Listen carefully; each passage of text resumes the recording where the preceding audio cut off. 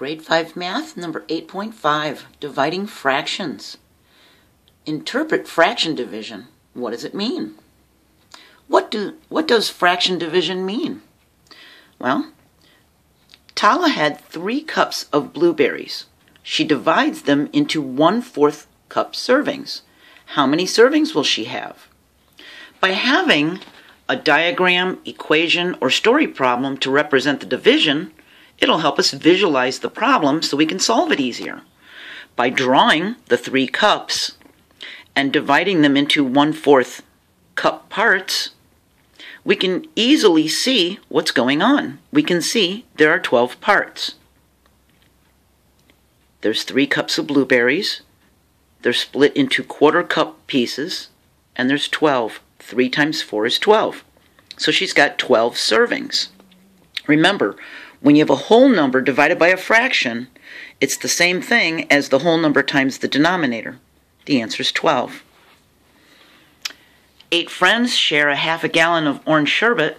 What fraction of the gallon of orange sherbet will each friend get? So here's the half gallon. And if eight friends need to split this, we need to split this into eight pieces. So half gallon divided into eight would be 1 16th each. If this is 8 pieces, then we would give this 8 pieces. Then there would be a total of 16 pieces. That means each of these little tiny eighth pieces becomes 1 16th because the whole thing has 16 pieces. See? And the fraction is part of the whole. So it becomes 1 16th.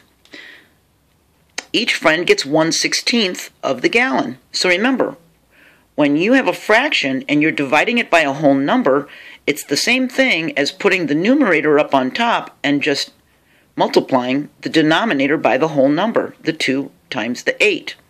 So it's 1 16th. See? Sometimes we have to write a story problem to represent an equation. So we can come up with any one we want as long as it makes sense. So for the problem for the equation 5 divided by 1 eighth, I came up with a plant is 5 inches tall. It grew an eighth inch each, each day. How many days did it take for it to reach 5 inches? So we need to put the 1 eighth into the 5 to see how many we'll get. That'll tell us how many days it took for it to get 5 inches tall. 5 divided by 1 eighth is the same thing as 5 times 8. When the whole number is first, divided by a fraction, it's the same thing as the whole number times the denominator. It took 40 days. See? Remember to reduce your fractions if you have to, so that they don't get marked wrong. If you leave a fraction that's not simplified, your teacher could technically mark it wrong, okay? And it could be marked wrong on a test.